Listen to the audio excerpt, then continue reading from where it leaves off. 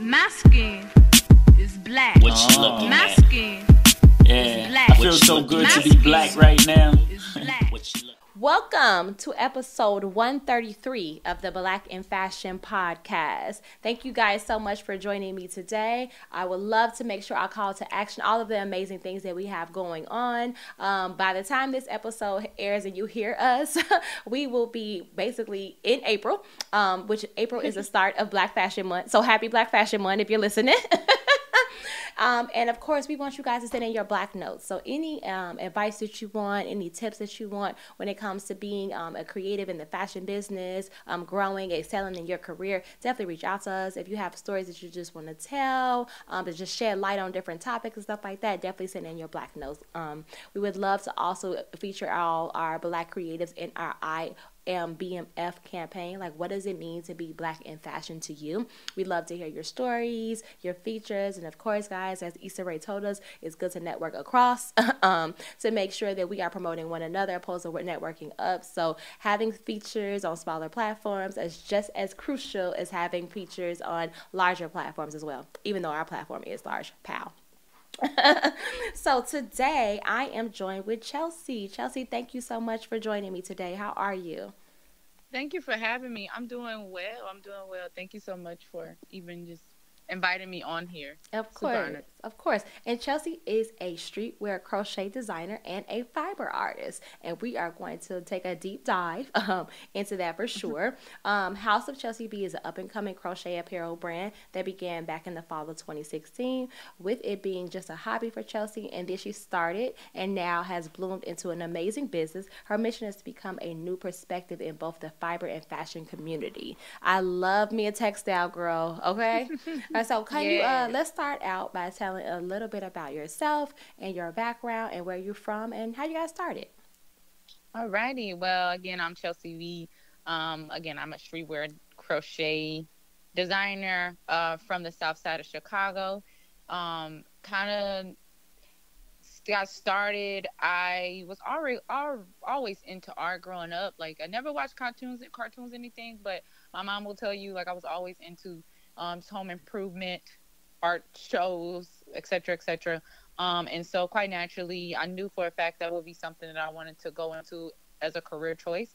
Um, and so my journey went as my journey went as such. Uh, I ended up going off to study at the College of Art and Design in Savannah, Georgia, and I got my BFA in surface design and textiles um, back in 20 May of 2019.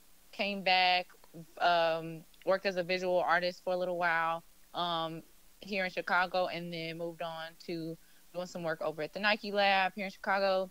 Um, and then yeah, now I, within the past what three four years, I have been fortunate enough to work with you know artists and the up and coming rappers and uh, I don't know actress actors actresses you know for their different pro- projects. That's like a quick sums up. I've been crocheting for about uh, about nine years now. Mhm. So we, we almost at the decade. We almost at the decade mark. But uh, right. Who taught you how to crochet? actually, my um, homeroom teacher in high school by the name of Meg Meg McGivney. If you guys um, go to my YouTube channel, um, you'll see me talk about it in a few videos on there. But yeah, she actually taught me when I was about like a sophomore, junior in high school. And then you know the funny thing is, um, my great grandmother, Pauline Winters, she actually crocheted. I never met her a day in my life. Um, she passed away way before I was born, but it just so happened that she was the only other family member in my only other member of my family that crocheted. And then here I come years later doing the exact same thing that she um did, but in a different way. That's amazing. I love that. So tell me about some of your biggest achievements thus far. Like what has been like um like some aha moments and like some like those was where you just like, oh my God, this is everything. Like some what some of the people that you work with or maybe it's a special project that you worked on. What was your uh, favorite project that you've worked on thus far? favorite project thus far was um, this past uh, fall uh, for the I did I partnered with Nike for the Air Force One 40th anniversary, and the reason why that was so impactful for me out of all of the things that I've done was because that's how I entered into just sneaker or streetwear fashion. Um, I think the first I think the first thing that I got involved in with Nike was being a guest at a Air Force One customization workshop, and that's that's a whole story in itself of how I even ended up there. And Virgil was actually the special guest and the teacher there, and so to have me three years later doing a partnership with them, um, like pretty much doing what I was pretty much be where I was a guest. Now I'm a I'm a teacher in that same sense. So that was that was big for me. I was able to involve my community, um, and just you know be able to touch and I mean be able to just mentor and inspire other artists um, in Chicago. And I think outside of that, um, definitely the Young Baby Tate I Am music video. That was like my first step into the industry. I think that was the project that put me on the map, and I could have not believed or dreamt of how far it went. Um, I think that was the first piece or uh, project that, that was on the uh, New York Times Square, New York, yeah, New York Times Square. Uh, so that that really like shocked me. I mean, it's it's a it's a bunch of other moments, but those two by far are like my my all time favorite at the moment. Dope, dope, dope. I actually want to teach at SCAD, girl. Ooh, girl, yeah, I've been thinking about it. I mean, I've been in New York for ten years. I'm originally from Chicago as well, but I'm pretty sure you knew that from my number. yeah. uh, but I want to, I want to teach this gas so bad. I was thinking about like you know going to Atlanta and taking like an adjunct role for a little while because mm-hmm. out of mm-hmm. all of the institutions, um, like I've had a lot of employees from FIT, um, mm-hmm. from Parsons, from Pratt, and the interns and the people that I've had from SCAD. When I say the education level and the talent level trumps these New York designers is crazy to me. Like mm-hmm, it's something mm-hmm. about like that SCAD curriculum that just taps in for me and like really creates like really really true artists. And I've noticed that from people that I've had on my team, the difference between them getting their design degrees here and going to SCAD. SCAD is probably yeah. like it's so top tier for me. Yeah, they definitely. I would definitely say my professors have been like I, talk. I every time I'm in an interview, I end up talking about my professors, one of them being Sarah. When I say they truly encourage you to do what it is you want to do, and I, am fortunate enough to have studied textile, you know, design. So it was a little bit of a different, uh, it was a little bit of a shift when I got into that major because, you know, with the fashion major, it's so, uh, it's in, in a way, it's subjective but when you get over into that textile industry, they truly want you to just be your authentic self and go with it, right? So they just they truly just taught me to be confident and truly walk in my essence as a textile fiber art crochet designer. If that's what I want to do, then that's what I'm gonna do. Um, and same thing, say, you know, I, I always make this joke like, if you want to make art out of peanut butter and jelly and like make some sculptures, and you tell your professor that, they're gonna be like, yeah, let's do it. Let's see, let's see where it goes. Right. So I truly, I truly believe that like being in SCAD, that atmosphere, and them truly um, pushing you and encouraging you to do what it is that you do, um, that that truly helps because it helps you to gain your confidence. You know what I'm saying? As a as an artist and as a designer. I love that. I love that. So I have a segment. It's called "It's a Success" or "It's a Disaster." Can you okay. tell me about a time in your career um, and in your journey that something went completely bad, um, went horrible, um, whether it was a you know a client or just something that you did, but you learned from the experience and it turned you to into a better business person.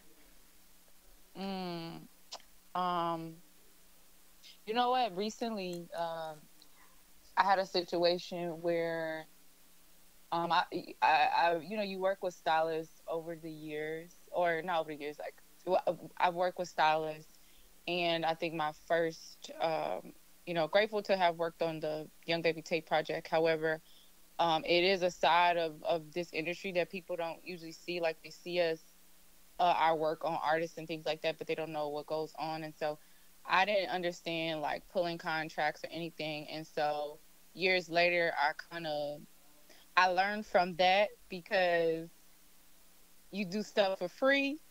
And I'm sorry, I'm, I'm sorry. This is people. I'm, I'm sorry. I'm trying to make sure that I, I word it correctly. Um,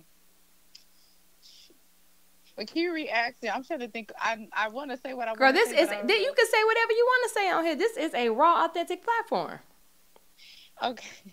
Um, and so it was a situation where, uh, I, I never got I didn't I never got paid for that for that specific project and role and so um you know years later or months later I was I was low key taken aback because I didn't like. I, I was just coming on as a, as an excited artist to be able to work on that project. However, I didn't understand how people could take advantage of just my artistry. You know, I'm pushing out things within 48, 24, 48 hours. And um, I remember it going on Complex TV. Um, what And you it? never got I paid for it. Right, I saw it on Love and Hip Hop. Um, Wow. every, eh, pretty much a lot of everywhere and i never got paid for it and then i looked up months later and my same exact piece because i had never i had didn't get it back for like a year and it ended up on like a skincare commercial um without me knowing and so that was a whole situation and th- that just touched but i just wanted to dabble into into that really quick like Making advice. sure you I got your contracts in order Yes, and your you copyrights, your sure- patents, your trademarks, everything. 'cause you should have got paid off of all of that. And honestly, since you probably still can, but you would Yeah, have to go and- after and then spend money to do it though. Yeah, and so um, you know, it, I, if I'm gonna give some advice to younger designers, because you know, I'm it was a learning experience for me because I realized you have to update clauses, you have to make sure that you have contracts in place. Um, you have to make sure that you are covering all ends. And so me coming in, I when I came in, I'm so nice. Like I was so nice, and sure, I'm still nice. But it's one thing to be nice, but it's another thing to know your worth and, and, and ask for that respect. Mhm. Um, you know, and so I all I, I tell my younger designers like stand on yourself, be your biggest advocate. As much as it may seem like a hassle and all of that for you to be resetting yourself for asking for accreditation and not accreditation, but asking for your credit as simple as like getting tagged in something, even if you're gonna do the piece pro bono. You know what I'm saying? Really, um, really advocate for yourself. You know, um, I would. I mean, I have. I've had other experiences because I, you know, social media it makes everything look so beautiful and glamorous and you know everything is so peaches and cream. And it's not like that. It's not like that. It's a lot of nights where you're just crying and you want to give up. You know what I'm saying? You want to throw in the towel. Um, you know, you you have people like steal your work and things like that. So. Um, again, it's just that's, that's just a learning experience. I feel like I'm rambling, but No, girl, I Um, understand. Uh, trust me. I literally Yeah. in January just updated all my contracts, but to ti to add on to piggyback to what you said, not only do you got to make sure you have your contracts and your clauses right, you low key have to have like a lawyer on deck because Man, I have I'm my contracts together, and I tell you, my contracts are tight, baby. Like they tight. They still break them. Mm, And with them breaking them, you guys to be on point with being, you know, collecting what is rightfully yours, you know, and standing Yeah. firm on that because I can have a great contract all day and long, but half the people that be signing them contracts don't even read them. Which is the Nope. crazy part to me. Like you don't even read it, like you know, and they, or they'll try to. Sue, I, like I have people try to sue me, and I'm always it's always comedy because I'm just like I've done everything and I've completed my contractual obligation, but you must didn't read your contract because if you sue me, you got to pay my lawyer fees mm. and you got to Yeah. sue me in my state. so I mean, like you about to set yourself up over there now. Yeah, yeah, no, that and that's that's one thing that you know I, I'm still I'm still learning that whole process. Um, but outside of that, you know, you have your crazy clients. I remember this one time, uh, and, and I I wouldn't say I was discouraged from it, but like I remember this one time, this girl she um she had requested me to make something that some other designer did, and this this taught me like I never like to recreate anybody else's designs when it comes to like fiber textile. Like come to me because you like my aesthetic. Come to me because you like what I do, and then I can create that for you. But she asked me to make some type of Da Da Vinci like replica, Mhm. and the thing was, she sent me the picture of it in motion, right? And I think it was on Rihanna, Okay. and she sent it to me in motion. So like it had like a bunch of it had like a bunch of fringe and all of that on it or whatever. Um, and so I remember sending. I remember doing my research to go and find the the actual garment like flat. So I sent that I sent that picture to her, and she was like all for it. So um, by the time I finished it, now mind you, this was like a tedious process. I had to work, you know, tooth and nail on it for like a good week or two two weeks. Um, and I, I fit her in at the last minute because she was a friend and she really wanted it done. So I was like, okay. Fast forward, I guess she didn't like it, but it looked exactly like what it was. But you know, they try to say the customer is always right, and I That's had some bullshit. my family. You said it, mommy. Um, and so apparently she didn't she didn't like it. She was was like, it don't. I wanted to look like Rihanna. I'm like, this is what Rihanna had on. Like this is this is exactly what Rihanna had. It's just flat because it's not in motion. A picture you sent me, she's like twirling and all of that. So I ended up like just to cover my end. I, you know, I said, you know, I apologize if you was not satisfied you know, because then she went into, I don't think that you put in enough effort on this, on my piece that Ooh. you do your other thing. Like it was a, a whole nine yards, right? And I'm like, I'm like, my, I literally ain't sleep. I, I'm fitting you in while I still got other custom orders and stuff. But I wasn't gonna go back and forth. I just simply, you know, I'm still go, uh, I'm still gonna give her the piece. She paid for it. I'll give her somewhat of, somewhat of her money back.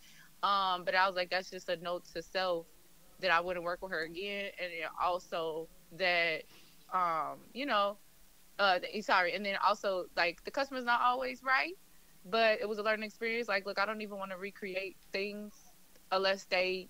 Uh, I don't even want to recreate stuff for like recreate any other person's design. I will find a designer and send you their send you their way so they can recreate it for you so they can create their own design mm-hmm. come to mm-hmm. me for what i create um so that's just another instance yeah, definitely. Definitely have that yeah. stuff in your contracts too. But that's I, I want to just go back to what you said about that customer being always right stuff or whatever. When mm. you do custom or whatever, we're guessing what's in that picture. You know, and I like You're to put that out there. Like we're guessing. We don't know exactly what fabric that is. We can't feel it. We can't see it. We can't get up on it. You know? Exactly. So it's just like we can get as close as possible to what you're looking for, but at the end of the day, you're taking a chance. And on top of trying to guess what the material or the silhouette or whatever that is, you know, from a whole bunch of pictures, you mm-hmm. may not have the same body type as that person. So we don't know how that's going to fit on you. And the mm-hmm. color might be different because it's a goddamn picture. mm-hmm. So so I was just like, I think I posted this on social media one time, and it's just like, y'all gotta relax. And I, and I said this about the hair world and the nail world because you know the same happened. Like if someone shows a picture of a hairstyle, but a picture is worth a thousand words. You don't know Man. how somebody else is going to interpret that. So what you see and what I see is always going to be different, whether it's mm-hmm. clothing, mm-hmm. hair, nails, makeup, whatever. Because a, picture is on, is worth a thousand words. It depends on who the viewer is. So I'm like, y'all got to give exactly. these uh, service based businesses, people who doing stuff for you, grace because we can only see what's right in front of us. Man. And that's all we can do. And you don't just because you don't like it does not mean that it wasn't right and that it wasn't executed effectively. Mm-hmm. So mm-hmm. I don't I don't know yeah, about you, no. but in my contract ain't no refunds um. Yeah. I. Yeah. No. Yeah. I, am like I didn't. Buy, I didn't bought the material and I didn't put in all the hours and work to do this. You know. Um. Some sometimes I do offer a refund in terms of like on my shop, my e-commerce shop, shop whatever. Like say they didn't give me the right address or whatever, or mm-hmm. like I had I got an instance somebody ordered something, um, and they ended up moving to like London in the matter of like a week or so after they ordered it. I don't necessarily ship out of the U.S. and so I offer in in that case a refund based off of that. But no, the that in that case she wasn't right. But I and I was trying to explain, but I was trying to be nice because you could be fair. You can't be nice in business. Be, you got to be fair in business. Exactly, exactly. And so I'm just work uh in the beginning because that that happened like in the beginning of my sort of career, mm-hmm. and so um I learned I learned through I learned through that and uh, it, it me it just it's it taught me a lot. Sorry, I always feel like I'm rambling because I get nervous. No, um, you good, girl. We all, we chilling. there ain't no right or wrong way to talking to somebody and having a conversation. you right, you right, you right, right. But no, no, she would she wasn't right. But it taught me. It's just because I didn't like again. I'm always I'm always big on representation, and I'm like I always hear about black black owned businesses and they rude and I never That's I bullshit to too. but I try to I'm very professional, you know what I'm saying? And so yeah. I in that way I used to let people just walk all over me. Mm-hmm. I used to not try to state my case because I don't want to be that angry black woman or I, I don't think that I will ever be, but I don't right. want. But sometimes you gotta. I'm a. I mean, I've I've been in full time entrepreneurship for about three, about three, no, about four years now. And when mm-hmm. I first started out, it was the same way. And even like when I was, you know, on my side hustle and I had a job, I feel like it was always people pleasing, people pleasing, people pleasing, just trying to mm-hmm. do whatever mm-hmm. people want. But like getting yeah. full time entrepreneurship, and this is my only leg to stand on when it comes to my income. I feel like it also turns you into being a no nonsense, no bullshit person. Like you're not about to play me. You're not about to play me. You're not about to take advantage of me because this is my livelihood at the end of the day. You know, so uh, as far as um, my headspace for you trying to tell me that my work is not good, that's a mental health thing because it's like you know you worked hard on it. And then the whole money thing, you're definitely not getting it back because it's already spent. So it's a mm-hmm. way to be what they call like, and I've uh, taken like a lot of like leadership and like different courses and stuff like that. We as black women entrepreneurs as a whole, we always feeling like we got to be that nice, nice person. And we can be nice to a certain extent. We have to be Yeah. fair. And we cannot Yeah. be super duper aggressive because, yeah, they get to labeling us like that. But then we also can't be passive either. So we have to be mm-hmm. assertive. And within Yeah. our assertiveness, we have to be transparent and authentic. I have gotten to a point where even on social media with my clients, I hold them accountable. And that's what it mm-hmm. comes down to. You're not gonna put the whole blame on me. I'm get I'm mm-hmm. doing what you put in front of me. And I make clothing lines. Like that's what I mm. like, that's what I do. That's my business. I create clothing lines for design. So I'm trying to help you create your vision. But at the end of the day, it's our partnership. I don't work for you, you don't work for me. So I mm-hmm. think that by holding people accountable to what they're doing and even clients, like a client customer relationship is both ways. Yes, you're paying me, but I'm spending my time doing a service. So don't hit me with the oh mm-hmm. I paid you good money, right? And you got good service. So what you talking about? Mm-hmm. You know what I mean? So I Yeah. Uh, I say all that to say that do not be allowing these people like to run up. And I know you said you haven't been doing that no more, but people will still try you no matter how far you excel oh, in Oh, they do. business, no matter how much you got behind you, they will try you and try you, try you, and you got to be the one to be like, hold on now.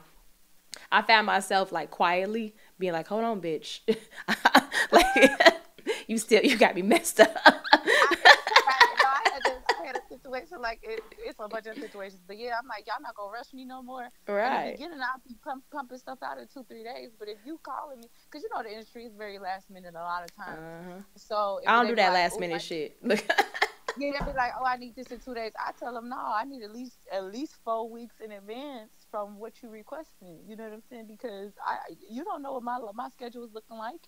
You know what I'm saying? If it's no payment on the table, we can't move forward with business. Like, True. mm-mm. All yeah. right. So bef- before we wrap up, uh, my last segment is called "It's a Muse." So if you just want to share um, anything that you feel like is, you know, an affirmation, a mantra, a quote, a prayer, anything that just keeps you going that you would like to share with another creative to continue to push them forward. Mm, um, I'm gonna share with you something my professor always has told me, and I, I give this same advice to a lot of young creatives: is don't abandon your projects. Like, sure, take a break from it if you if need be. However, don't abandon that idea because no idea is a bad idea. Um, that and then I guess one of my scriptures is uh, I think is uh, ooh ooh ooh I'm about to mess it up. Now it's Songs of Solomon four and seven you are altogether beautiful, my love. There's no flaw in you, and that's been key I in my life that. just because I think as creatives we are so hard on ourselves. We are so hard on ourselves. We give we don't give ourselves enough credit. Mhm. And so with me, um, through my journey into being a full time entrepreneur, designer, artist, I have to affirm myself and realize that I'm worthy and I'm beautiful just for me being me, not the creative, right? Not not just, Just as me. the creative, not Mhm. just as the artist, but just as me. You know, and that is the reason why I'm in this room. That is the reason why I'm why I've gotten the opportunities that I've gotten because I am me, my whole authentic self. So those are the two two advice. And then also just give yourself grace, baby. Give yourself grace. We are all learning on this spinning rock all at the same time. So, uh, like I said, us, like I said again, us as creators, we are always so hard on ourselves. But number one, give yourself grace. Don't abandon your project. Sure, take a break from it or whatever, but don't abandon your project. And just realize that you are worthy just because you are you. I love Never. that.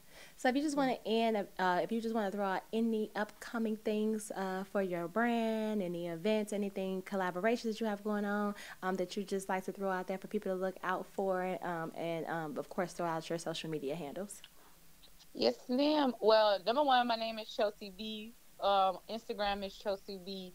128. That's C H E L S E A, the letter B, number 128. Um, few upcoming projects. Number one, I just um officially am a I am officially a part of the Jordan Women's Collective of 2023. So be on the lookout for that announcement, or uh, it should be announced by by now. Um, number two, I have a collection dropping with Chicago Fashion Coalition entitled "Give Them Their Flowers." It's paying homage to my great grandmother, who I spoke about earlier, um, and uh, she crocheted as well as um, paying homage to my great uncle, who was a part of the Black Panther Party. I'm all about giving people their flowers where they're living. Unfortunately, I was not, never able to meet them, so this is my way to give back to them um, in whatever capacity I can. Um, and then, um, what else? Yeah, that's that's it so far. Amazing. Um, well, you yeah, guys oh, make sure then- you. Oh, go ahead. Go ahead. Oh no, no, I'm so sorry. Sorry, sorry. I was gonna say make sure you follow her. I'm gonna put her name and, and all the contact information in the show notes. That's all I was gonna Yes, say. I yes again. Chelsea B one twenty eight. Um, thank you so much again for having me. I hope I said something that was insp- that inspire you. To Yes, absolutely. We had a great conversation, and I just want to throw out to you. Um, in April, um, April 28th through the 30th is um, Black Fashion Month, but it's also my four-year anniversary of my business, and I'm throwing a designer retreat in Chicago. So the yeah, so you'll find out my and I just followed you from our LC account too. Um, but it's going to be a big retreat uh, with a whole bunch of designers. So Friday is we're doing like and it's self care. So there's no business at this retreat, none. No business. So Mon- uh, Friday is we're doing a sensual dance class with class with Chaz. She's based in Chicago, and I have curated drinks for the whole weekend. So we got like lavender cocktails and lemongrass cocktails. I have food catered for the whole weekend, infused and uninfused options. Saturday is facials, uh, massages. We're gonna have a fashion panel with women pouring into you and your business more so on the manifestation side, and then prayer as well. We're gonna have a young lady doing henna tattoos. We'll have a full dinner and drinks there, and it's the whole day. It's all self care. So facials, massages. We're doing um, guided meditation. We're doing yoga, and we have some amazing sponsors that are donating candles and robes and stuff. And then Sunday is going to be our farewell brunch. So if you're in Chicago, you should definitely be there. Oh, Yeah. It- listen, I'm like whoever listening, y'all need to be here for this. I'm gonna be Right. so yeah, I definitely and I'll shoot you a text with like all the information and stuff like that. And we have like seven different ticket levels, so you could buy Friday only, Saturday only, Sunday only. You could do all three, or you could mix and match, do Friday and Saturday. So all the breakdown of all the tickets and the days and the itinerary for the days is all there. All the food and drinks are included for the whole weekend, and we even have a retreat house if you want to stay in our uh, uh, West Loop loft. If you want to continue to you know uh, stack with creators, we're putting twenty people all in the house together, and it's a whole bunch of creators for the weekend. So that's an I option as well. Is to stay in the retreat house. You know. I love that. Well, I'll be looking more into that Mm-hmm. um because I was definitely trying to plan to go to a retreat somewhere, Yeah. and it so happened. Maybe that's alignment. Yeah. Um, And this one be this one is in your city. I know in my in my city. Yeah. Look at God. yeah. I gotta come home. It's my anniversary. It's time. Yes, you got to come on back and get a little bit of that shot town Right? flavor. well, thank you so much, Chelsea. I appreciate you. And thank you for joining me today. And as I always say, guys, stay black. Peace out. Stay there. All right. Bye, love. Have a good one. Bye.